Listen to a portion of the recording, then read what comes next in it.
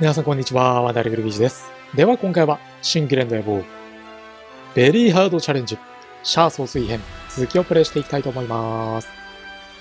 宇宙における連邦軍の拠点は、すべて潰しましたので、これから地球侵攻作戦を発動していきたいというふうに思います。この後は地上での戦いがメインになりますね。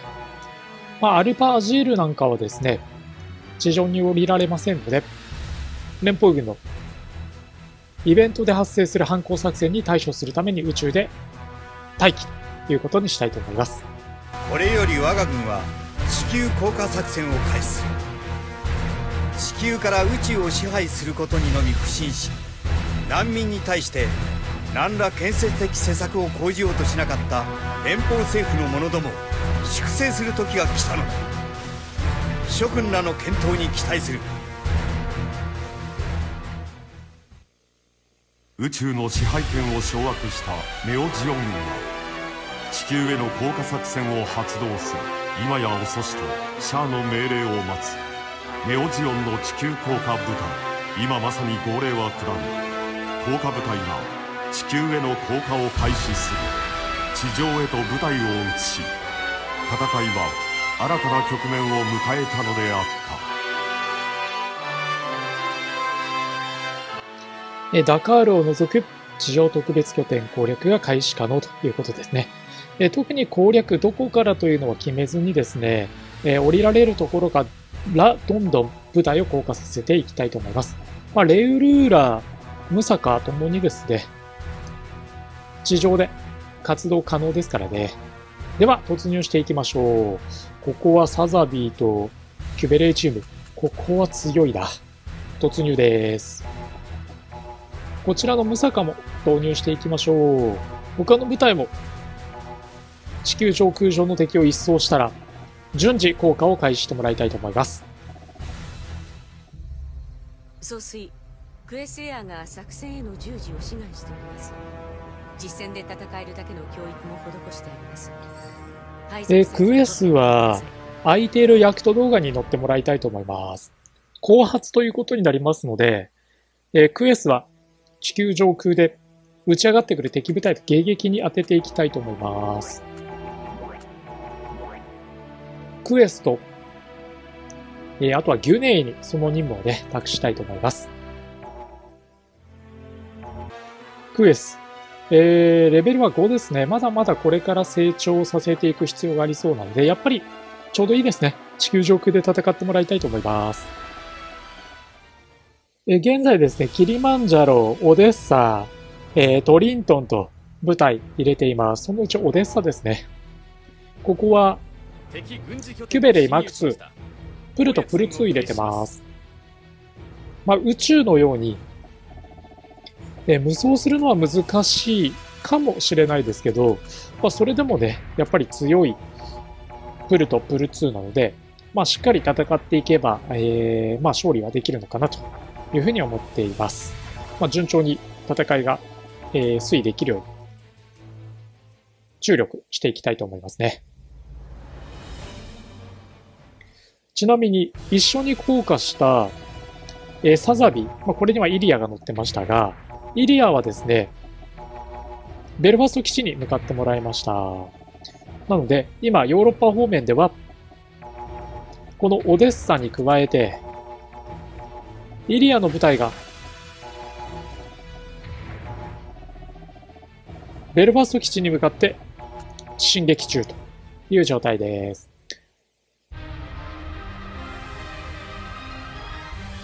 ムサカはともかくレウルーラはですね、搭載できるユニット数、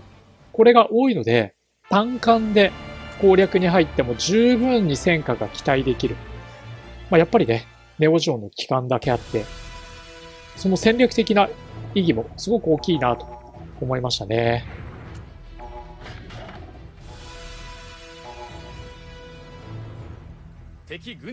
トリントン基地には、現状シャアのナイチンゲールが侵入しました。後続の部隊も用意してますので、まあ、ナイチンゲールはナイチンゲールとして進んでいっちゃいましょ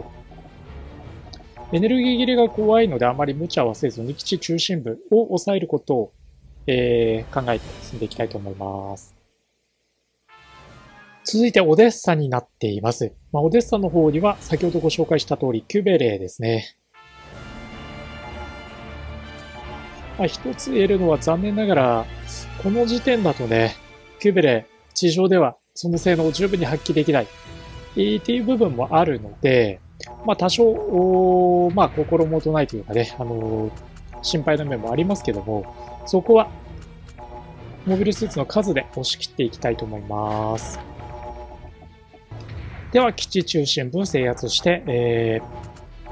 このオデッサを地上軍、地上で初めてのネオジョ軍の、ね、拠点として使っていきたいと思います。基地中心部の制圧に成功しました。敵残存戦力を相当してください。諜報部より報告いたします地球連邦軍が戦略兵器研究所を設立し短期間での技術力向上に成功した模様です今まで以上に強力な兵器が前線へまあユニコーンも出てますしね十分にお気をつけ連邦軍がさらに戦力を強化してくると思うので、まあ、こちらも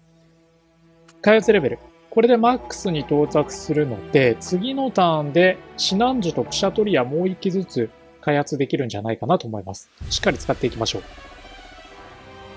で、北京にはですね、シナンジュを下ろしました。シナンジュはもともとサイコミュ搭載してませんので、まあ、戦力がダウンするっていうことは、まあ、ないかなと思うので、フルフロンタルにしっかり活躍してもらいたいというふうに思います。宇宙だったら、えー、短期で無双だったナイチンゲールもね、なかなか地上では完全無双というわけにもいかなくてですね、まあ、じわりじわりという状態です。まあ、ただ、これも時間をかけてで攻略は十分に可能かなと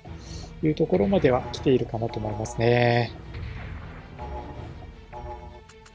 エネルギー切れの心配もなくなってきましたので、もうどんどん進んでいきましょう。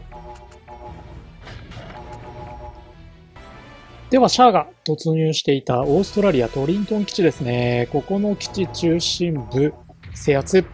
完了です。これでオデッサに続いて地上で2つ目の拠点確保に成功してます。北京ですが、ここはシナンジュ投入してます。ここもシナンジュがいれば全く問題はないかなと思いますね。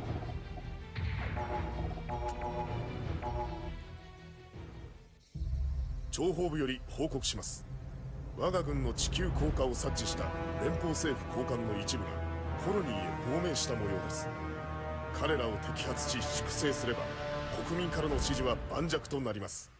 連邦高官の粛清ぜひご検討ください。はい。連邦高官の粛清来てますね支持率向上の影響で将兵の戦意が大きく向上していますでは今回はですね、まあ、オデッサ、えー、そして